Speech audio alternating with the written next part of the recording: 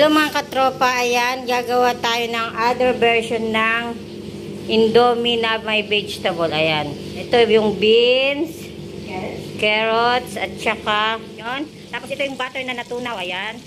Pag natunaw na yung butter, ganyan. Unahin ang onion, onion with sinani. Ayan ang nagluluto si sinani. Taga-video lang ako. onion, yan. Pag medyo na brownish-brownish na ang onion, tsaka ilalagay yung vegetables. Haluin ng haluin hanggang sa maluto. Pag nag-brownish-brownish na siya, tsaka ilalagay ang vegetable.